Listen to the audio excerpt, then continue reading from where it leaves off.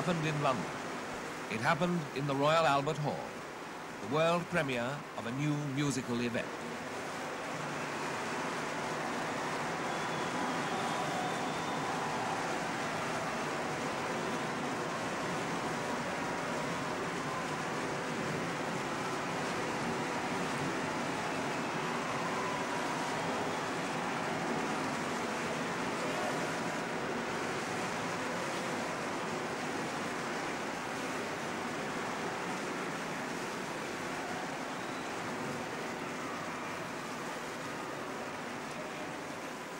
These scenes of unrestrained enthusiasm took place in London. And for the thousands of people who packed the Royal Albert Hall that night, it was a unique occasion. One which brought together two worlds of music, symphony and pop. One of Britain's most distinguished composers, Malcolm Arnold, conducted the combined musical forces of the Royal Philharmonic Orchestra and the Deep Purple in the first performance of the concerto for group and orchestra. It was written by Jon Lord, who founded the Deep Purple group and whose vocalist is Ian Gillan.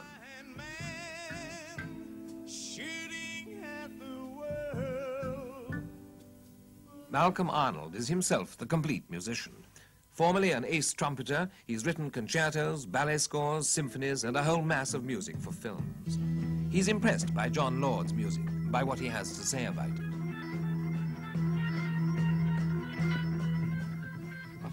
Composing something is almost like playing something. You, know, you, start, and you, what you've just done leads on to something else, Yeah. and so on, until Yeah. you're. Um, it's, it's like playing a piece of music, not just writing it down. This is how the music sounds. It flows. It sounds, although it's highly organized, it sounds like an improvisation, which is the finest thing that you can say about a piece of music. The idea wa- was to make uh, make it sound as if everyone was, uh, you know, taking something from everyone else. Yeah. and getting, This is what happens. It's like a conversation Yeah. between us all. Jon Lord believes that the musicianship in pop is getting so good that this kind of cooperation in music can happen more and more often. It's clearly a view that Malcolm Arnold shares. What's it feel like playing with us squares? Squares? wrong word, wrong word. it's great actually. It's a lot of fun. I mean, the first rehearsal the other day, you know, we sat down here and was like looking over there. God knows how terrifying, many isn't it? uh, it's been very exciting. And I just, it has for me. I hope you know the concert itself is uh, as exciting as the rehearsals have been. It will be more exciting.